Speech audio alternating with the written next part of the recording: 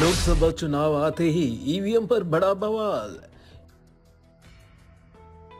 UP में 300 से अधिक ईवीएम पकड़े जाने का दावा। जाने क्या है वायरल वीडियो की सच्चाई? सोशल मीडिया पर इलेक्ट्रॉनिक वोटिंग मशीन, यानी ईवीएम का एक वीडियो काफ़ी वायरल हो रहा है। वीडियो में कुछ लोग एक कमरे से कई ईवीएम बॉक्स को एक जगह से दूसरी जगह लेकर जाते हुए दिखाई दे रहे हैं। कुछ लोग वीडियो बनाते हुए भी दिखाई दे रहे हैं।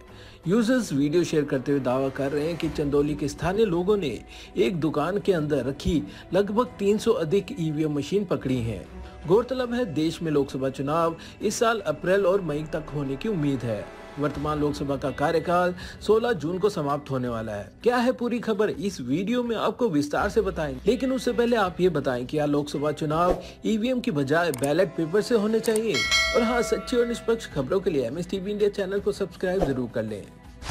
क्या है खबर? सोशल मीडिया प्लेटफॉर्म एक्स पर वीडियो को शेयर करते हुए एक यूज़र इंजीनियर मनीष रजाक ने लिखा, उत्तर प्रदेश में लोकतंत्र से खिलवाड़। चंदौली के स्थानीय लोगों ने एक दुकान के अंदर रखे लगभग 300 से अधिक ईवीएम मशीन पकड़े।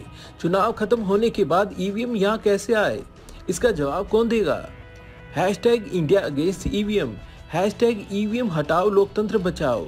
हैश टैग ईवीएम हटाओ देश बचाओ। क्या है वायरल वीडियो की सच्चाई?